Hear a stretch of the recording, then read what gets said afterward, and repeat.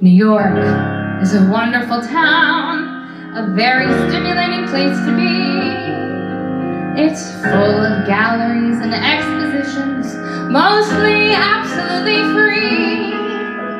And concerts like at Lewisohn Stadium, plus at Carnegie Hall. We sit way up top, but it's wonderful acoustics. That's where it sounds all art lectures at the Metropolitan. I attended ancient Greece the other day. The modern dance and ballet at the YMWHA. And legitimate plays on Broadway. Don't you think oh, Odets is great? Not just the downstairs, of course. We get last minute balcony down from Gray's cut rate.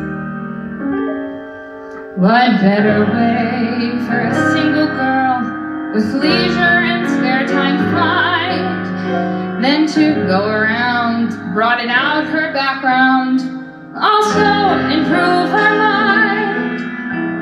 Plus, it leaves more chance for meeting up with people.